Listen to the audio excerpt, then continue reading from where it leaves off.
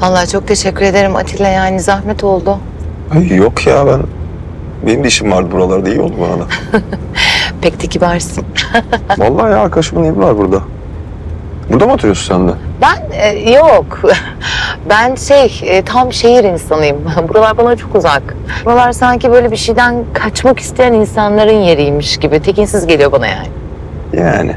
Yengem burada. Abimin eşi. Yeğenlerimi görmeye geldim. Hala mısın sen? Ben halayım ben. Vay be. Vallahi çok şahane bir şey ya halalık. Halalar başkadır. Ben çok severim halamı. Başkasıdır biz. Soldan devam edeceğiz. Tam olarak nereye geldik şu an? E, cennet sitesi. Biliyor musun? Yok. Hiç bildiğim yerler değil ya.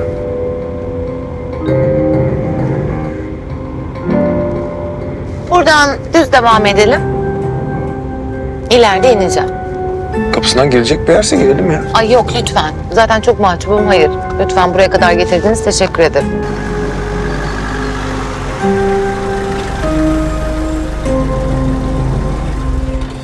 Çok teşekkür ederim. Çok sağ ol Atilla.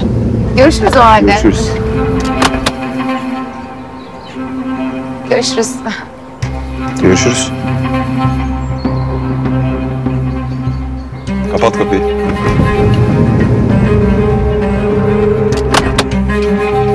Yürü depoya.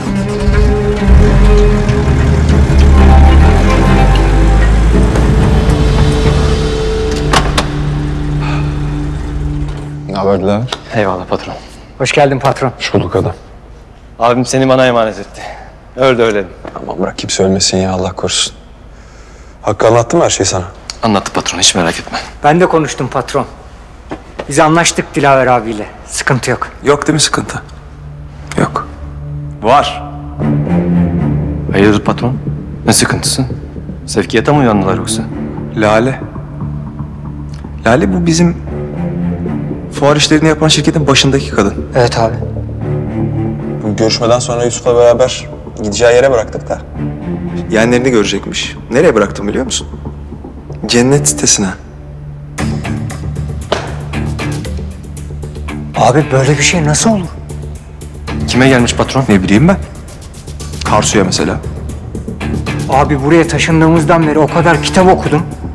Ama böyle bir tesadüf romanlarda bile yazmaz. Patron, biz hemen bir küçük araştırma yapalım istiyorsan. Tamam ya şimdi yapın araştırmanızı. Oyun oynuyoruz biz zaten çünkü burada.